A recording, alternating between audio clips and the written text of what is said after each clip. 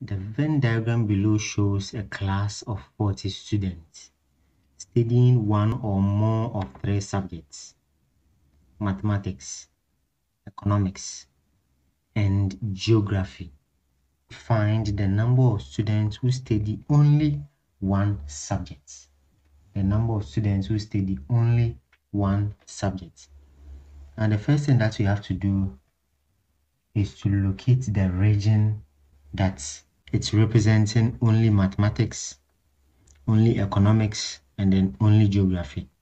So the region in here, okay, this region is for mathematics only.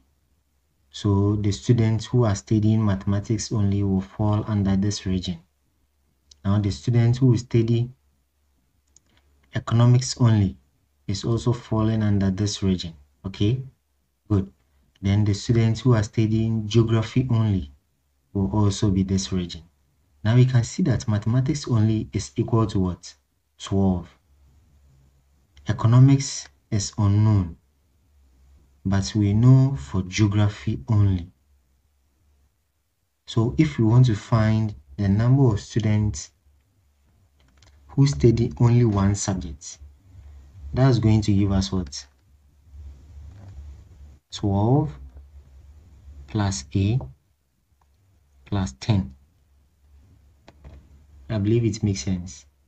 But we don't know those who study economics only. So that's what we need to find first before we can get our actual answer. So the first thing that we need to do is to find for A. Now, how do we do that? We have to sum individual regions in the Venn diagram and equate it to the universal set, which is what? 40. So let's go ahead and do that.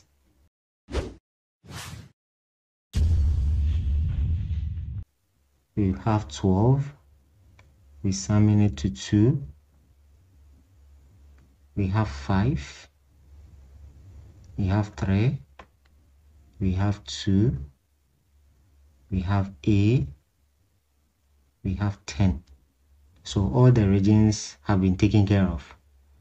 Then we equate it to the universal set, which is 40. So let's sum everything up in here. We're going to get what? 34. The variable a comes in and we equate it to 40.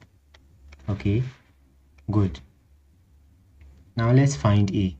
That means we have to make A the subject. Okay.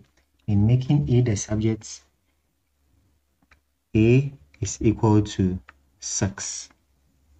We will send the 34 across the equal to sign. So that's going to give us 40 minus 34. And that is equal to what? 6.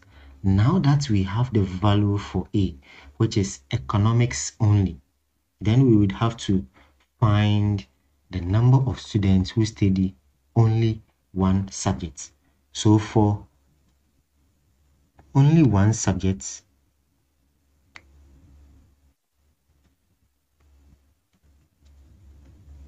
that one will be equal to, just as we said, mathematics only, that is 12, plus economics only, which is now 6, and then we have geography only, that is 10. So if we sum them together, we have what? We have 28. So 28 students study what? Only one subject. Let's go back to our question and go and check the answers that we have. So checking the answers, we can see that from the options given, the correct answer is D. If this is the first time of reaching this channel, press the subscription button to subscribe and press the notification bell so that you will be updated on any new videos. You can click the channel name to go through the playlists and watch more of these tutorials on Q&A.